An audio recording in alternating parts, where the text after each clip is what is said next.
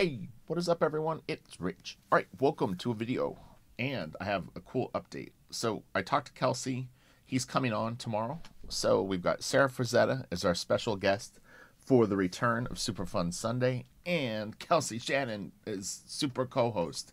And also, Kelsey really has been enjoying these um, image uh, 30th anniversary videos and he's going to actually do some with me. So we're excited about that and we've already talked about um, some comics that uh, we both really like that um, don't get a lot of attention.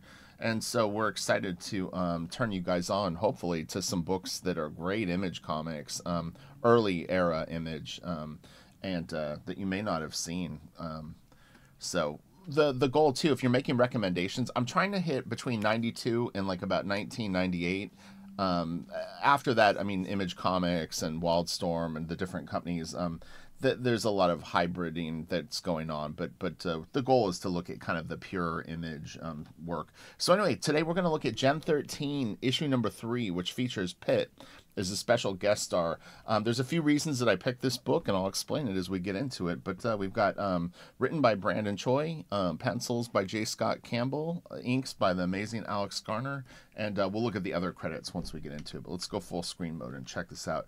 So the reason that I picked this book is is a few. Uh, Jeff really started to get good at this point. Issues three and four of Gen 13. This is the mini series, not the ongoing series. Um, this came out in '94, so it's not actually a first wave um, uh, Wildstorm title, I guess you would call it, or image book. It's interesting too because I've I've referred to myself as almost like being like a fifth generation Wildstorm artist, but you know the thing is is you have you have the original wave of wild uh, image books that came out which are the the founders of image then you have kind of a second wave which is in a weird way um, even though Whilce Portacio was definitely part of the image um, group uh, Wetworks kind of falls into that. Whilce had um, a death in his family, and it put him back in terms of scheduling for things. Um, Pitt kind of is the second generation uh, image book. I think in a way the Maxx is not in a way, but I mean the Maxx. But there was there was definitely really big and popular titles that were heavily associated with image comics that were kind of the second wave. Then you have all the it, it, Wildstorm specifically. I'm talking about. You have all the artists that were found by the talent searches that the original books brought in, meaning that as Jim Lee released Wildcats, there was a talent search in one of the early issues, and J. Scott Campbell was found through that um, and other artists too. I'm not 100% sure everyone's stories, but then you have like even a, a third wave of uh, artists that came into Wildstorm. Maybe Dan Norton might fall into that batch. Uh, Nick Manabat, you know, could be considered second or third wave. Um, and then there were even some people that came in after them, and then I came in in like '95. So uh, when that's kind of why sometimes I say that I don't really consider myself, um, you know, imagey enough. But anyway, so the reason that I picked this book though is not only is is Jeff at this point getting really really good, I'm under the impression that Jim Lee possibly laid out the first two issues of the mini series. I've heard that.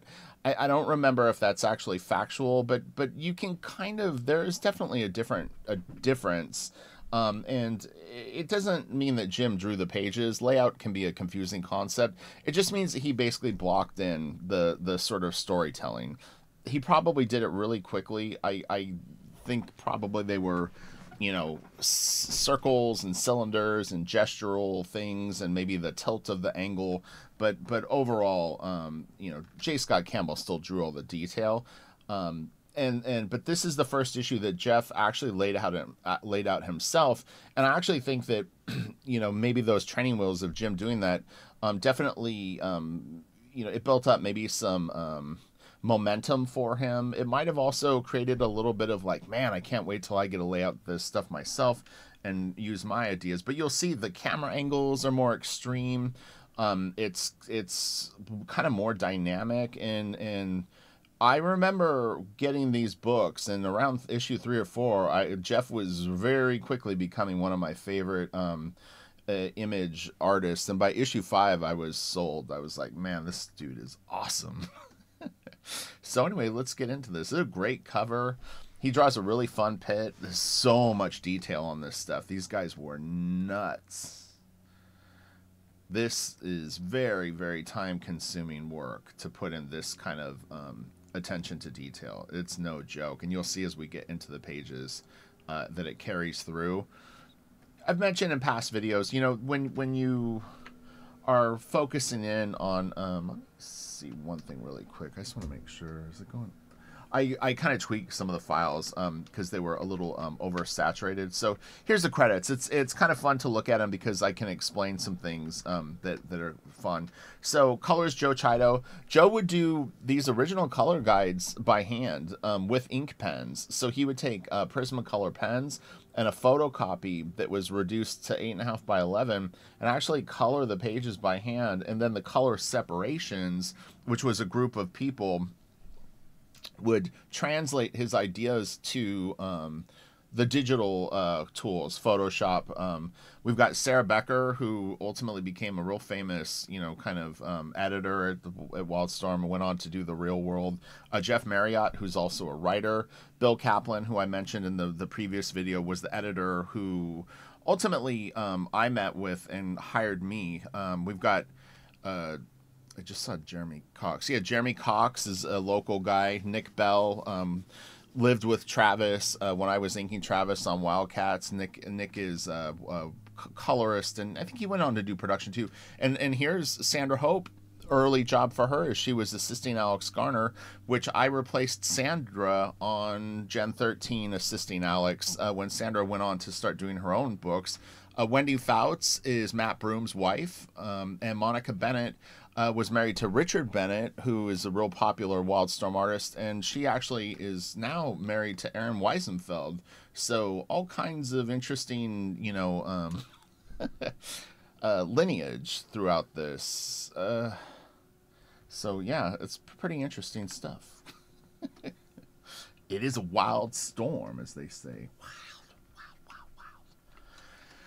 All right, so let's go back into full screen mode. I de- like I said, these files were a little oversaturated and they're a little dark. So your comic book will probably look different. I have so many copies of these issues. Uh, honestly, issue, the miniseries of Gen 13, I have uh, I don't even know how many copies of issues three and four. There's so many. I find them all the time. A lot of them are newsstand editions too.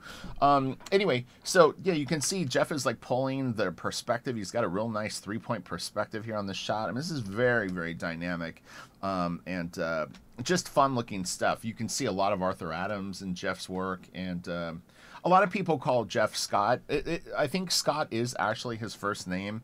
Um, but I always knew him as Jeffrey, Jeff, and so I will call him Jeff. Um, but most people now do do actually refer to him as Scott. So I don't think it bothers him that, that if you're from a certain, um, if you hung out with him a lot at a certain time, that you may call him Jeff. I, I most of the Wildstorm, um, I think people do. Out of respect, though, if he preferred Scott, I would definitely just start calling him Scott. I could I could reboot my brain. Um, this is a brave move right here. The black on her face. Let me uh, grab a little pointer. Um, but that that uh, that's that's you really have to commit to that because I, if I did that, it would not look right to me. Like right now, if I filled the face with black like that, I'd be dying to put um, a little suggestion of the nose, maybe just something in there. But uh, yeah, he went for it, and uh, it works. You know, it doesn't really bother me. It, it it's uh, interesting. This is really, really cool shot too.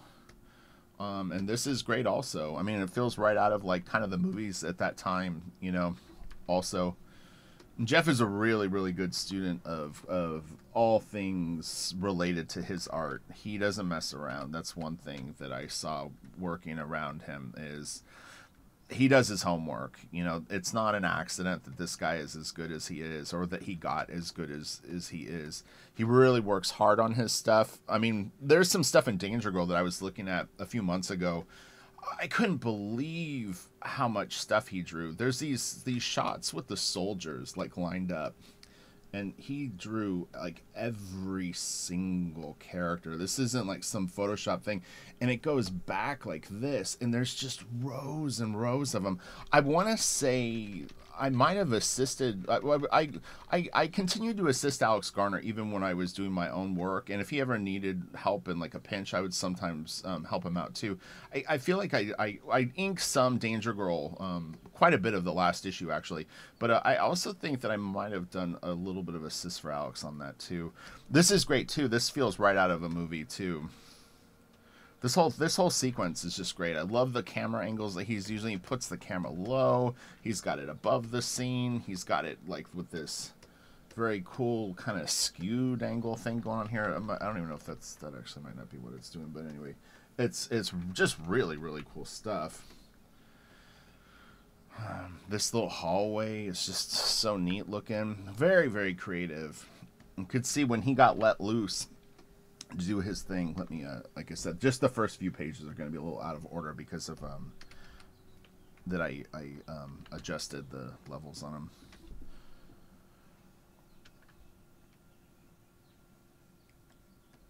and you know the the one thing that, that, Jeff actually dealt with a lot. I actually have a lot of respect for him. Is is uh, Brandon Choi and Andy Hartnell both are pretty panel heavy writers. Um, just glancing at this page, I noticed right away when I saw how much was going on here, I was like, this is a lot of panels. He had to draw one, two, three, four, five, six, seven, eight, nine.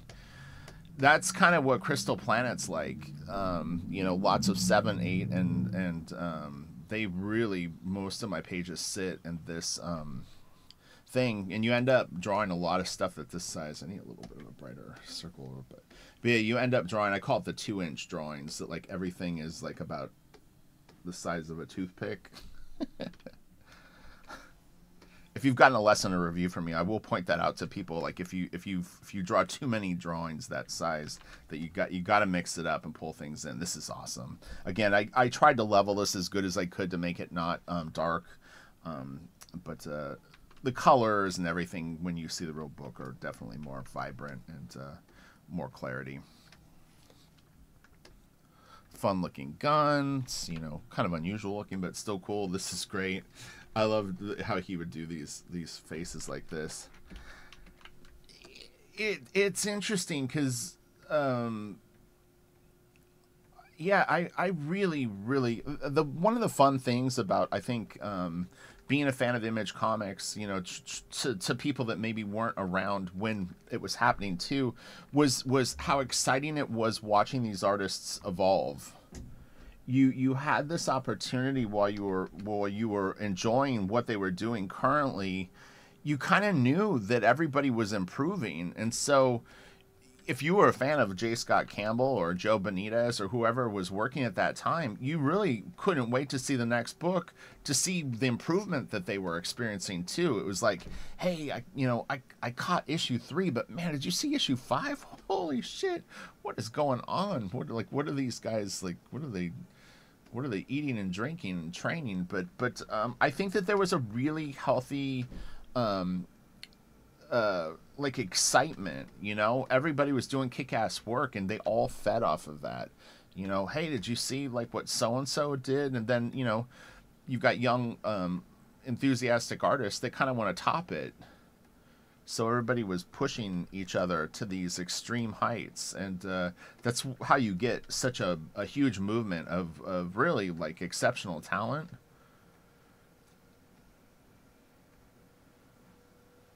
Mm, one of those classic uh, image hills, the rocky hill with uh, stuff. This is actually very cool shot too with the silhouette of hers. Nice. Okay, I'm gonna brighten this one just a little bit for y'all. There we go. That should be a little bit better. This is so Arthur Adams. So it was interesting. I went to J. Scott Campbell's house one time. I mean, I've been to his house many times, but one time in particular, and he actually broke out some pages that he had drawn in high school. Um, not not the the really good Mort Drucker like caricature stuff. Although I, I did see some prints that he had of that stuff that were really nice. So so good. But um, he had a Wolverine story, some sequentials. I might have mentioned it in the Danger Girl thing because it, it made a big impact on me.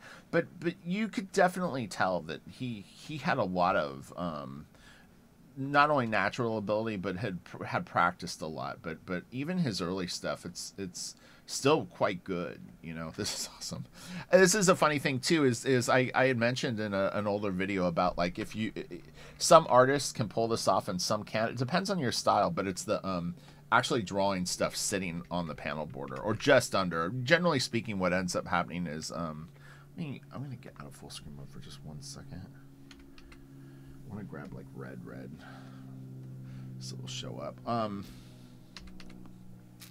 yeah, generally when these artists will do that, where it looks like they're laying on the panel border, actually the things are dripping just a, the tiniest bit underneath it, like even her knee. Do you see how it's just going underneath it or her, her foot?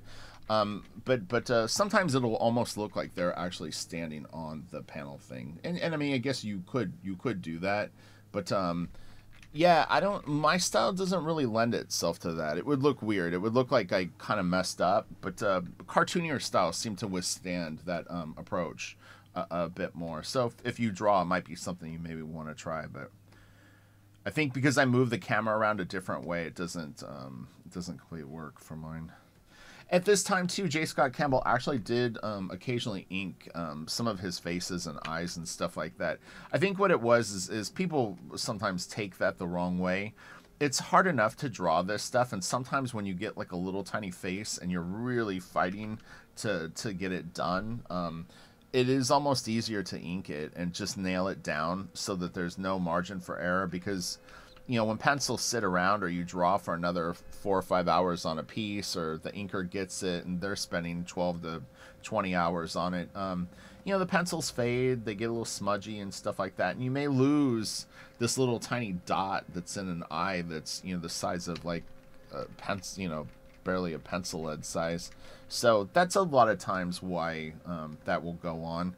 It's just, it's difficult to see something that tiny because you figure you know, on an 11 by 17 board, they're just going to be like basically pixel sized uh, things. Then this is another great, like, cool shot that that um, he he threw in here. You know, he's really flexing his um, perspective uh, muscles, and it looks really cool. You know, and lighting. You know, puts these nice shadows on stuff.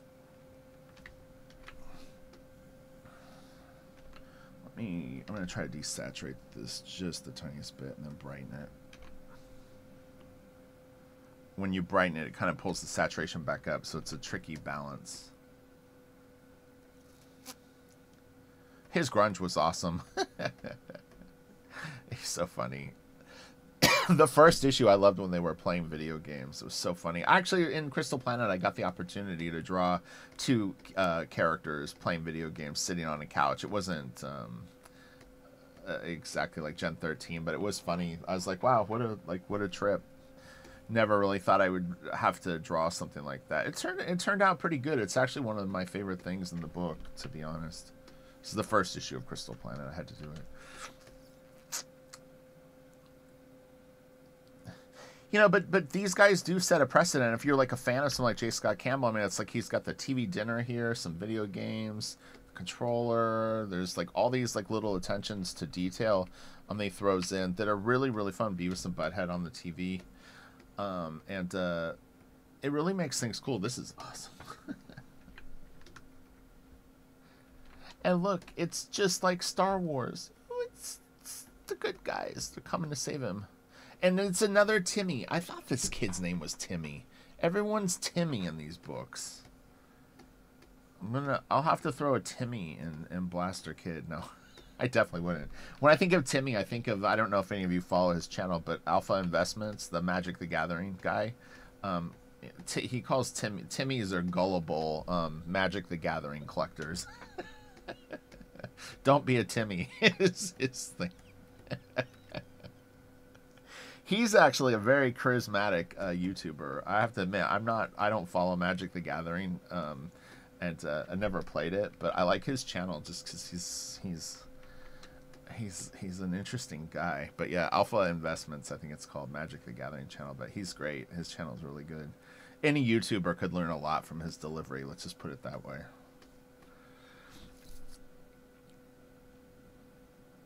Oh, this is so good, so cool.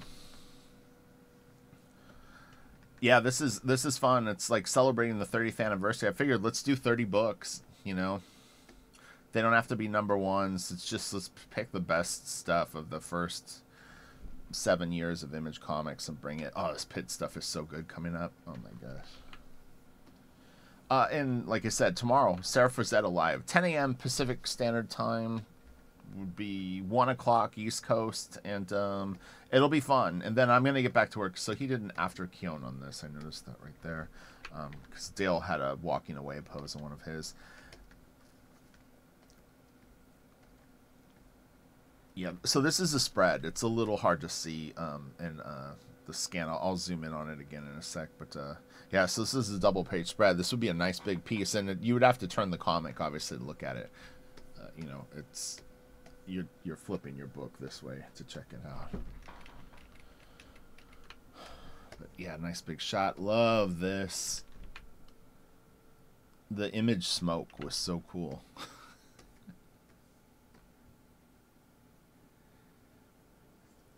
if you actually if you follow Jeff's career, you'll see a point where he starts putting the Leyendecker smoke. That's a little more um, like this kind of thing, you know, where um, they're more like ribbons and not as much the bloopy smoke.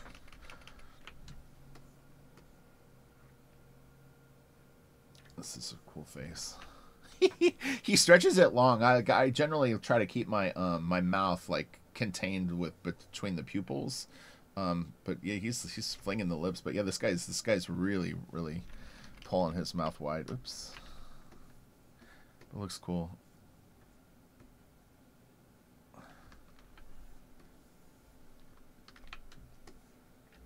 Uh, again, turns the camera.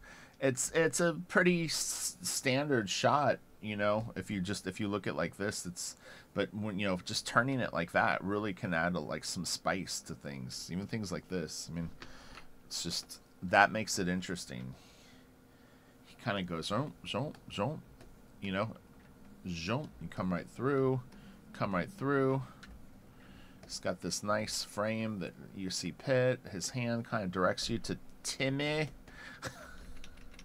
It's good stuff. And he probably does it just instinctually, you know?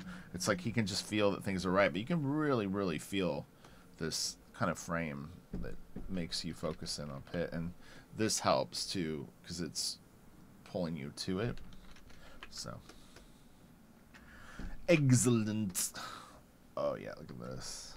And issue four is more of this. So if you if you um, like this, grab issue three and four of Gen 13 if you don't have them, because these these two issues are just pedal to the metal, big, cool stuff, and um, the, the Gen 13 kids with Pitt.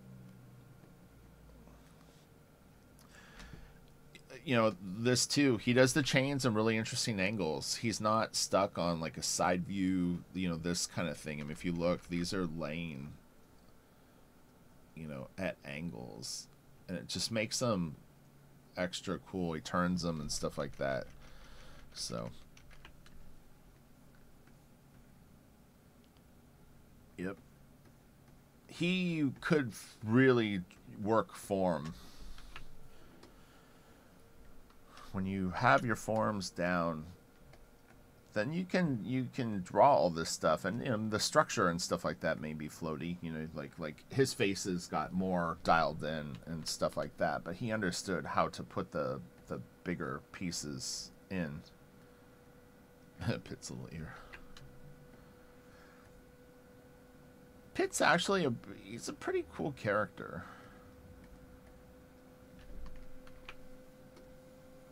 oh this is such so awesome It's almost got like a predator vibe. I don't really ever noticed that before, but he's kind of predatorish. I mean, I know he's, he's I would assume sort of based on the Hulk and maybe Lobo or something. yeah,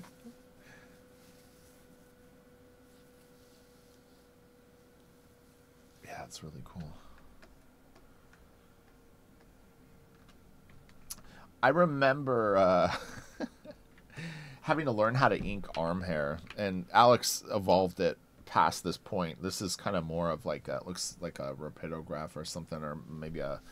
I'm not really sure what he used to do it, but uh, his arm hair even got more and more like manicured um, as we went along. And uh, oh boy, that was interesting to learn. Once I got it, I was fine. But uh, yeah, like arm hair is pretty challenging. You what you kind of do is you sort of do them in rows, and then just juxtapose them and have them cross. They need to be equal lengths though. That will help. And you can kind of then you wrap it around the form.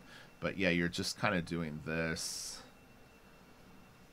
this kind of thing, and they can touch but that's that's essentially what's going on here. And then you throw some randoms. Like like this is what I tell people when even when you're rendering and stuff like that, the most noticeable lines of any rendering thing, uh, besides if you just throw a bad line, is this stuff right here. It's the stuff on the edges because it's the most exposed. This is the most exposed, so that's where you want the randomness. That was funny. The um, drew a dick. Um, uh, the the. I'm stuck in hell. What is going on? My uh there. Okay. Um it was like the it was like the there was like a magnetic lasso like on the brush tool for a second. I'm gonna I'm gonna lower the saturation on it. But yeah, those are the most exposed lines. Anything that's that's hanging oh okay, that's what it was. Um yeah, this this is the stuff that you're gonna see. So even when you're doing like, you know, big hatches, you definitely don't want any sort of weird dark spots. Like if you're trying to make a fade and you've got like weird gaps, it's hard for me to actually even do it bad.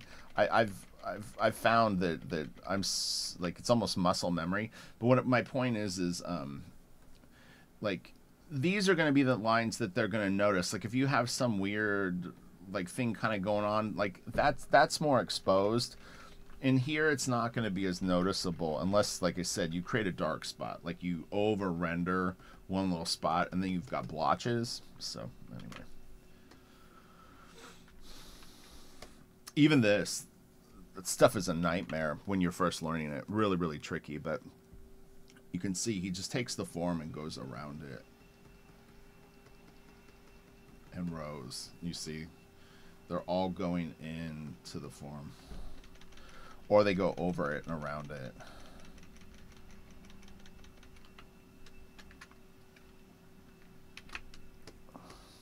It's like the way Jeff draws hands. They're very, very stylized, but but uh, they're they're super cool.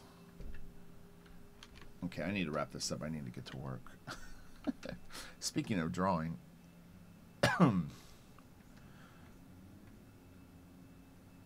Roxy. Roxy changed a lot by the um the fifth issue. She starts looking really really pretty. Here she's a little more um a little more gaunt, a little kind of more thin, but she gets she gets real pretty. Issue five and the zero issue, and then issue one of um, Gen thirteen. I think he really started to like nail her, grunge naked, running around. This is nice. These are really good shots. He's really good at that. That's that's tricky. That's tricky stuff. Yep. He is good, good, good. And this has got a, a pretty fun pinup in it from an early, early Dan Norton. I think Chuck Gibson might have inked it. This is nice too. Man, that's a lot of stuff to draw. Very detailed. This is great. These figures reacting to it are awesome.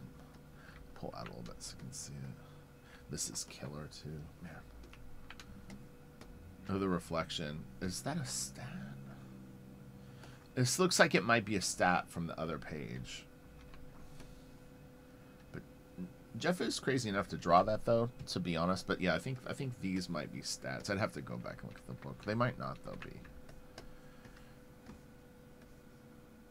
Stat meaning that like you take like an image from another panel and um, the computer will put it in for you in case you don't know.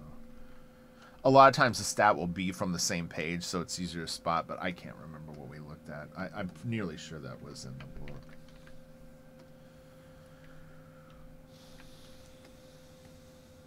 This is cool. Oh, man, there's so many freaking comics. Kelsey, if you watch this, let's do let's do Nick Manabat together too. I'd like to do that with you. Um, that that'll be fun. We have other ones that we were talking about, but uh, yeah, let's do some the the original Cybernary. It'd be fun to uh, see it and talk about it with you. Okay, yeah, so this is a pinup by Dan Norton and Chuck Gibson, and man, Dan's style completely changed from this. This is not a bad drawing by any means, but when you see it, it's like it just doesn't have any uh, character, uh, m- meaning that it's it's well drawn, but there's there's not a real personality yet in his stuff. It's very functional. Now, Chuck Gibson may have uh, like in translations something may have been lost i mean everybody is learning at this point um, but um, yeah it's funny but dan really really got good and and man this looks nothing like his stuff at all but they're they're solid drawings i mean like the poses. There mm, this is fine you know grunge's shoe Oh my god, Grunge's outfit is so funny. Oh my gosh, Travis drew a piece. I I I seen the original in pencil at his house one time. It is the funniest thing. It floats around online. He's wearing like he's got like woolly boots. There's two versions too. I think eh, the one at Travis's house didn't have the sunglasses, but but um the the one that um I, I think that floats around uh, it was the original version where he had he had um, drawn them with like shades on. Uh, but I, I think whatever he had at his house was different. So he had either erased the sunglasses and drew in eyes, but it was pretty funny. But he had Travis had a couple of very funny early pinups that he did. They're nice. They're really beautiful pencils, but the drawings themselves are just kind of funny. It was he he was really good at that point, but a little bit um, out of control would be the way to put it.